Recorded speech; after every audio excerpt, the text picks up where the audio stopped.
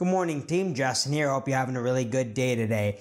Membership reward points by American Express are some of the best reward points that you can get in the world of credit card reward points. But they do have one area that they can be improved on, and that's uh, redeeming them for a statement credit or some sort of form of cash back. You can usually only redeem a membership reward point for 0.6 cents Uh, a piece. But in this video, I'm going to show you three different ways that we can redeem these points for one cent or more in value. But there are some hoops that we have to jump through in order to do this, and that's what we're going to talk about in this video. If you're new to the channel, I'm Justin and I like talking about credit cards and reward points to get the most out of life. If you like credit cards and you like reward points, give this video a thumbs up and you should subscribe to the channel. Keep watching and I'll have a little clue for a secret word of the day. You don't get any prize, but uh, it still might be a little fun for you.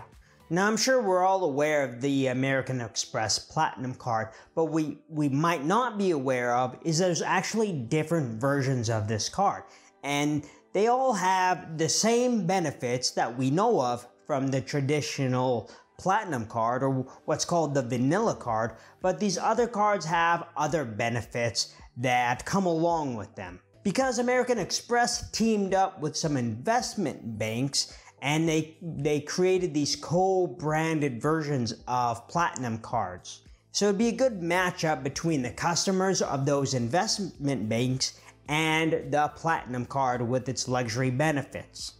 Now these co-branded cards, they have the same benefits as the traditional platinum card that include the $200 airline fee credit that's eligible for airline incidental charges like snacks, seat selection, and checked bags, the $200 hotel credit for booking through the Fine Hotels and Resorts program, the $240 digital entertainment credit uh, for things like Disney Plus, Hulu, ESPN, and Audible, the $200 Uber credit, that's $15 a month in Uber credit, and then $150 Walmart Plus membership, also with access to Centurion lounges, Priority Pass lounge access, all with that same $695 annual fee. Another thing that you should be aware of is that all these different cards are considered different products. So you're eligible for each different card and it's a different sign up bonus even though you would be spending over $2,000 in annual fees if you got them all,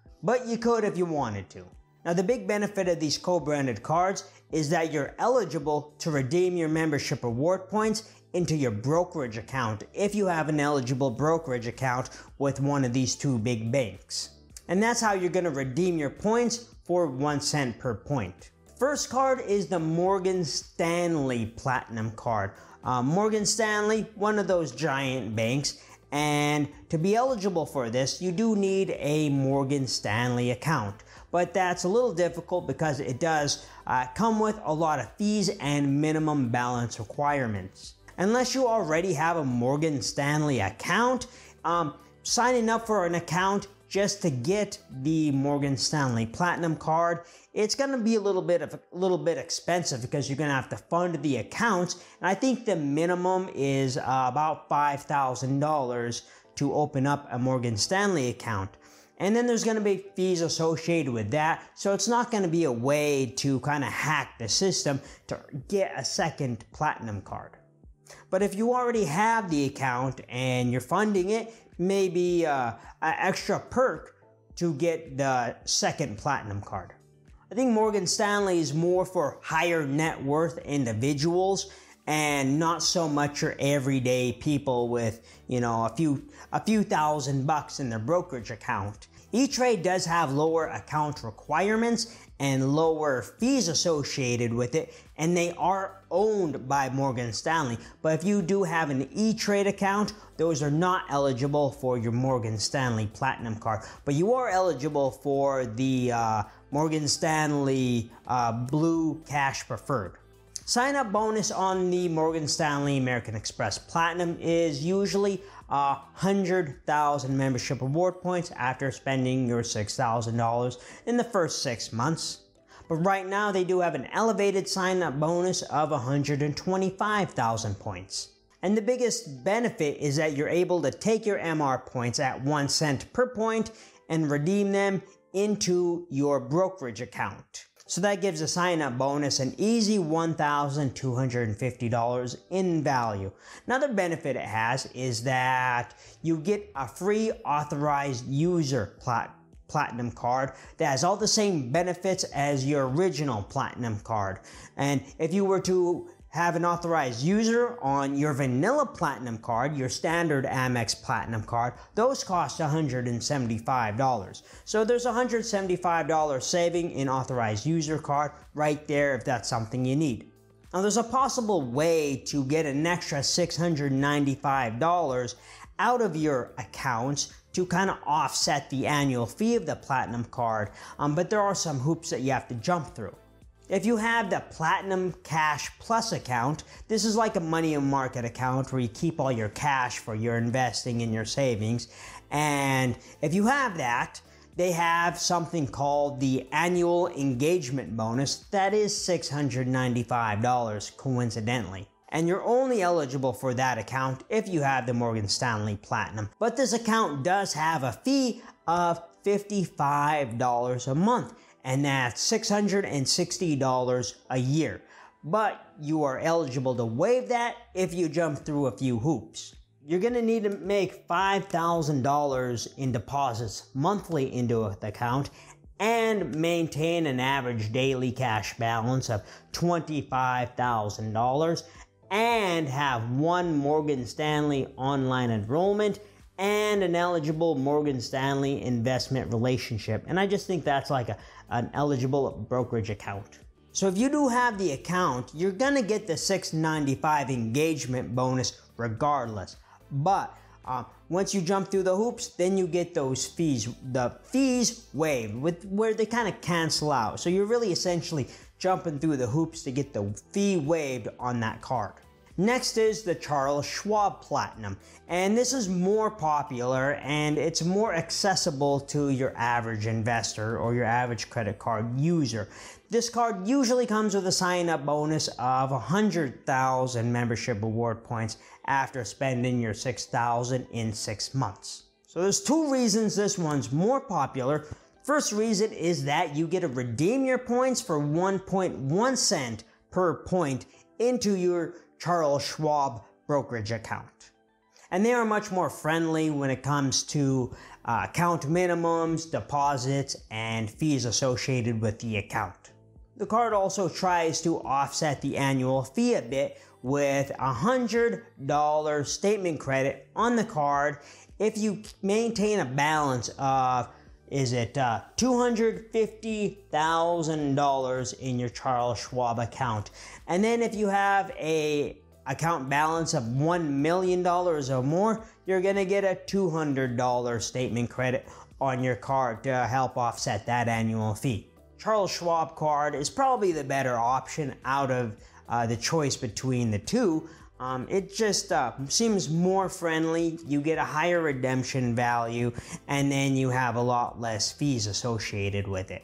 The third way to redeem for one cent per point is you're gonna need the American Express Business Platinum card. This is a little different, but it's still a platinum card with a $695 annual fee. Comes with a sign up bonus of 120,000 points. Has a really super high spending requirement of $15,000 in three months. Card does have a few credits. Has the $200 airline incidental credit, like the uh, personal platinums, $189 clear credit, the lounge access. Um, also has a $400 Dell credit. That's $200 in the first half of the year and $200 in the second half. $150 credit for Adobe products. $120 wireless credit. That's 10 bucks a month. And then $360 Indeed credit. And Indeed is uh, some sort of service that uh, connects employers with people looking for a job and um, helps hire them. Probably not a service that most people use, but it's there. Now, when we have that card, we're also to need the American Express business checking account.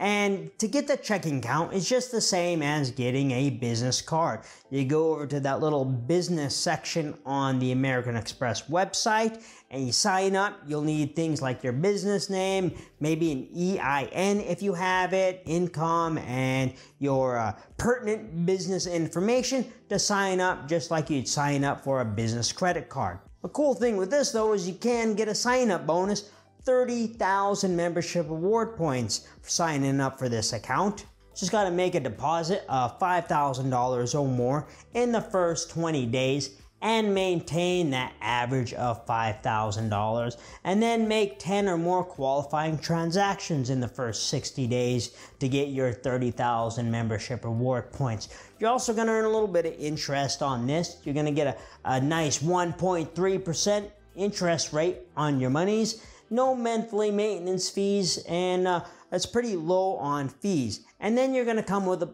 come it comes with a little debit card where you're going to earn a little bit more membership reward points. And these points, one point for every $2 spent on your debit card. So it's not a great earnings rate, but for those transactions that don't accept credit and they only accept debit, um, here you go. There's a couple points for you. Now, the way um, this checking account works is that you can redeem your points through the checking account as usual for 0.8 cents a point.